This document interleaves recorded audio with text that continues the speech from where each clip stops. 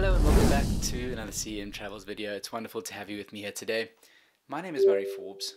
We're going to be talking about the Z6 II, the 500 AFP lens and that old trusty 7200 f4 using the FTZ adapter.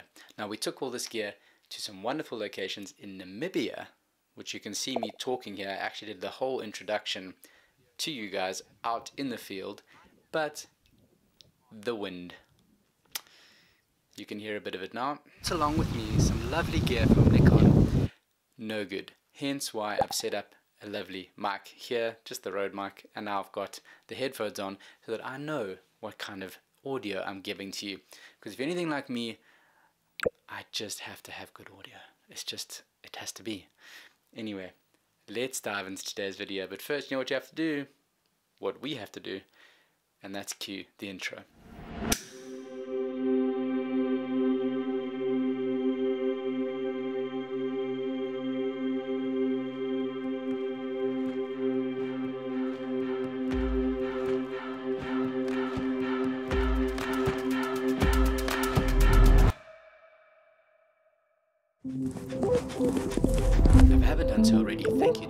Subscribers for joining me. I have to apologize to all the current subscribers for being so late in producing another video for you guys. We have been away for about four or five months and I have just hit the ground running since we got back, but I'm so stoked to be in the studio again recording some cool, interesting content for all of you.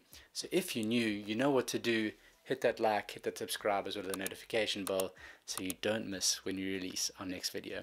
Got some very nice content coming your way and I'm very excited about sharing it with you. But first, let's have a quick look at what we be talking about today. This bad boy, the Nikon Z6 II. I took the Z7 and the Z7 II on the first trip. Unfortunately, we didn't update the software, the software, the firmware. That was an error. Anyway, moving on swiftly. The Z6 II, what an amazing, amazing camera to take with me on safari. It was superb. I actually took two with me, the one that you're currently seeing me filming on now, with, of course, the FTZ adapter. If it looks a bit strange, it's only because this is a very, very important piece of equipment that I had to use on the fluid head which you see me on now. I'll put its name and description here. Talk a bit more about it later on the video as well as the tripod. Again here's a little picture of the tripod. And I wanted to show you with it on because it does work. And that goes on the Z6 II of course which then was attached to this beauty. It looks I mean it just looks sexy this thing. I mean it's it's epic. I would love to do a review. If you're keen, please leave a comment uh, if you think that you would be interested in this. The the 500 AFP f5.6. That's what what you're seeing me here with here, and the F mount 500 f4, the new one, whatever the new one is, the EFL something something. I'll put its description somewhere here so you can see what I'm talking about. And see what kind of separation difference we get and and different um, what, if, if if if there is much of a difference between the two. So if you think that might be a cool idea, leave that comment down below. But that on the FTZ adapter, of course, on the Z6 II, that's what we're doing. And I'm sure many, many of you out there have this in your arsenal, as I say, or in the in the weapon cabinet. The 70 to 200 AFS Nikkor 70 to 200 L? No. F4G ED VR lens? I think it's very very popular but you can hear I've got some sand in that focus ring unfortunately. That noise. We'll talk about that noise in a bit. But firstly just a quick comparison with the Z7 and I'll do some probably some more in-depth looking at this but I was much happier with the Z6 II than the Z7 II only because I was using it a lot in video mode. I took a lot of stills as well and I think the real difference between the two is the megapixels and I don't blow up images that are the size of my wall so I don't need that big megapixels. However if you do a lot of cropping and um, and things like that and you need that that higher megapixel then yeah the Z7 II is the one for you. But I was happier with the Z6 II of course quickly super lightweight and the build quality is absolutely superb. I don't think we have to do I did an unboxing of this camera if you would like to check it out and a, and a more in-depth review of the outside but what we're talking about today is the modes so one of the very, very important things that I figured out while it, just using it, and uh, I saw on a, on a couple of other uh, YouTube things as well, is the ability to be able to change between the autofocus modes. Because while I would like to say that the animal focus mode works really well, it doesn't. It probably does for cats and dogs, but when you're taking here's an example of some elephants um, and you are filming them or, or you following them with your continuous focus in with stills and with video but that would be full uh, full-time focus and a video mode. It doesn't figure out that it's an elephant also with a lion. Here we go. Here's some footage of a lion which you can see. When you're tracking it you're going you're going and then bang you lose the focus. Any branches ahead. And I see as well looking and reviewing some of the footage uh, we had a lovely sighting of a black rhino. I'll put quickly you can see here the black rhino. And uh, those of you who have been lucky enough to see black rhino will know that they tend to be very skittish. And if, if you're lucky enough to find one the sightings are normally quite quick.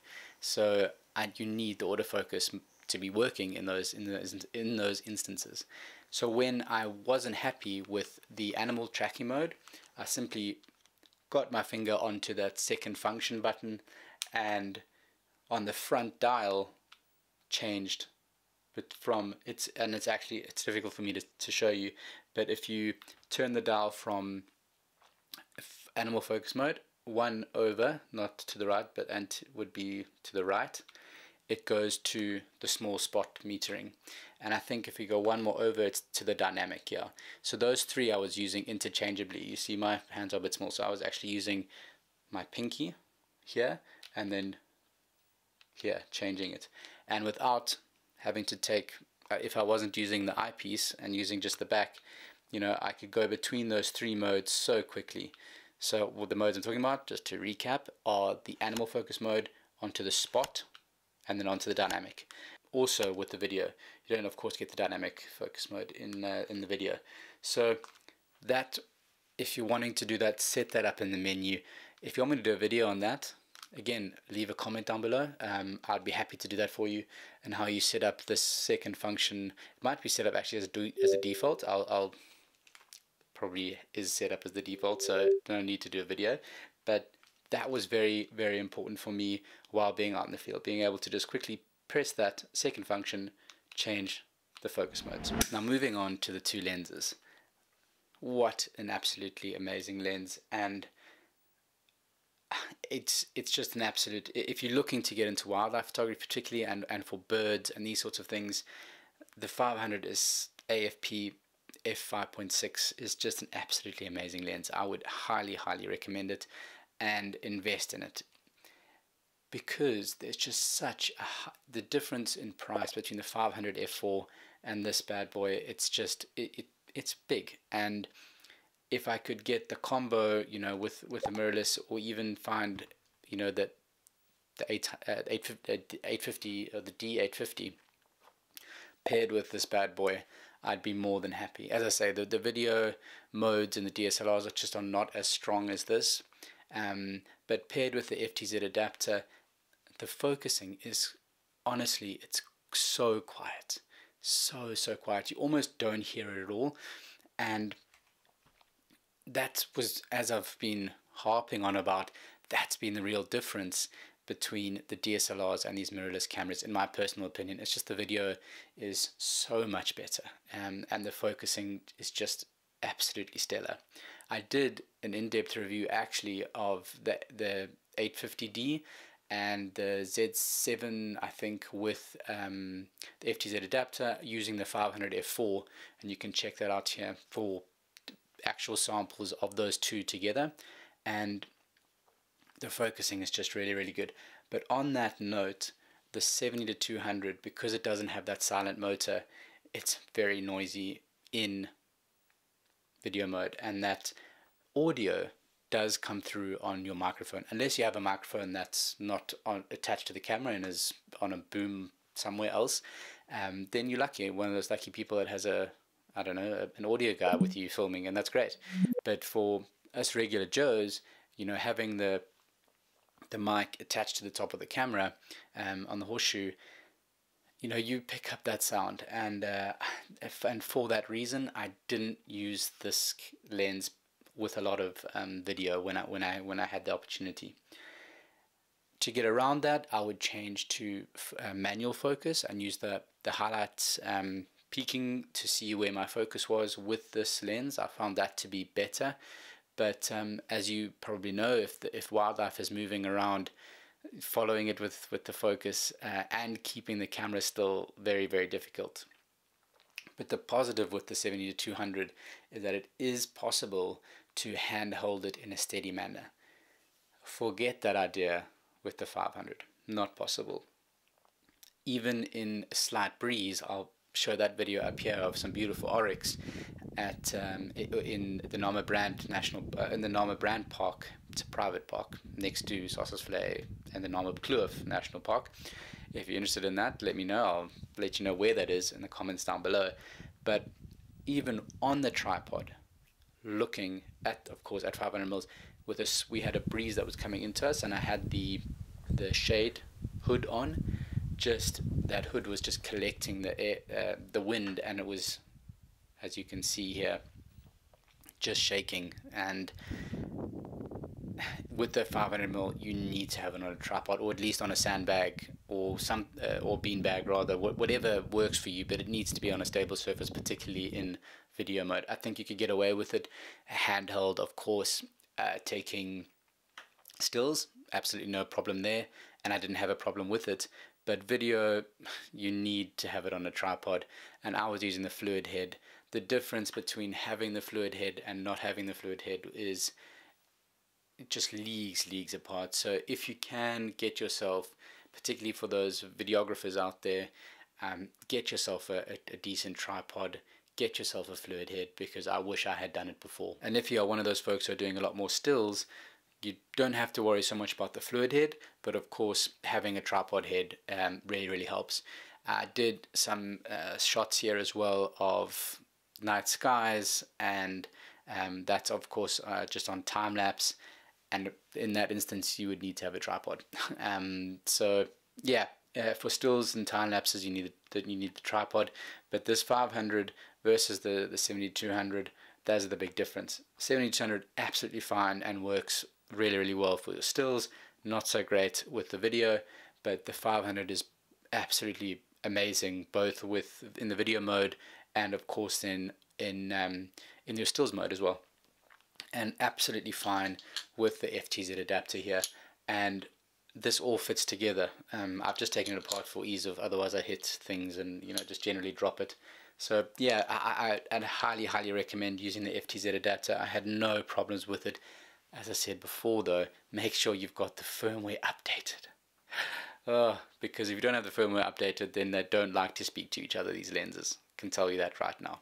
One quick thing I need to mention, however, is I only had one FTZ adapter with me, so I traveled with the 35mm f1.8 that you're seeing me on now attached to the one Nikon uh, Z6 II and of course I had the FTZ adapter on, on the other camera and then either the 500 or the 70 to 200 attached to it.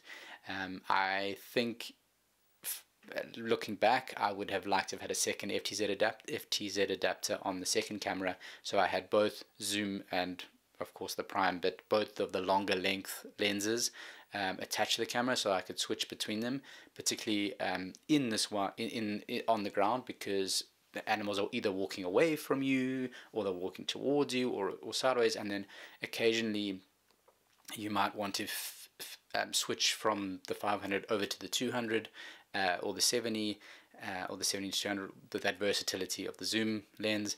So in that way, I think I would, if I did it again, I would have two FTZ adapters uh, with me in the bag so I could have both of my bigger, longer lenses readily available on each camera. Because what I was using the this beautiful, uh, I love this 35mm f1.8 lens. I think the price is good. I think the images are really good and it's so versatile. Um, and I'm a fan of prime lenses. But anyway, I was using the 35mm to do the stars, to do some more landscape type stuff. And when I was filming on the ground myself, I use the 35mm. So not as often. Most of the animal images, the animal videos, the wildlife stuff I was doing with these longer lenses. Because in the national parks in Namibia if you don't know you can't drive off-road. You have to stick onto the road and animals can be far away and you need the longer lenses.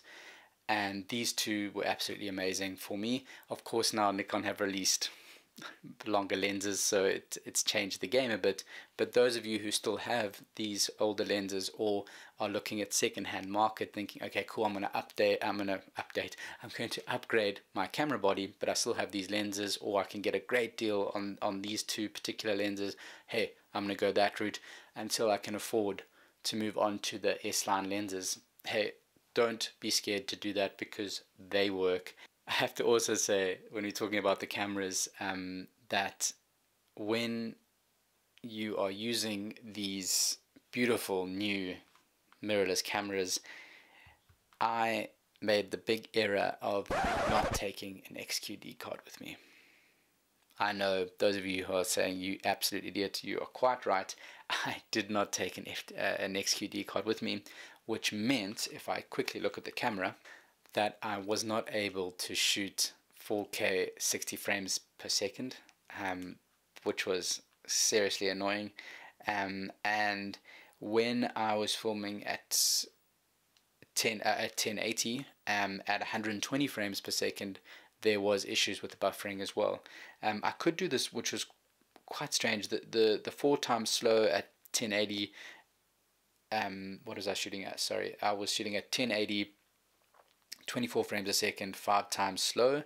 That those worked on my X on my SD card, but they those other modes weren't able to, of course, buffer at the speed that you need with that the XQD cards have. So bear that in mind, folks. If you're gonna be wanting to use that, you know, that 4K 60 frames a second that this camera offers, and I think with firmware updates going forward, they might offer you know that 120 frame. Come on Nikon you can do it. Then you're going to need that XQD card. Don't mess around with the SD cards. Get the XQD cards because I wish I'd had it and I yeah. Live and you learn. Now if there's anything that you want to ask me about any of this gear please do not hesitate to leave your comments down below and I will answer them as soon as I can um, I absolutely loved using all of this gear and if you enjoyed the content today once again please hit that subscribe hit that like as well as notification bell so you know when we'll be releasing our next video. Got some really cool content coming your way. I took a DJI Mini 2 with me and got some amazing drone footage. Here's a quick preview. I'll be talking about that drone and how I took that footage out in the field. But for now see you in the next one 拜拜。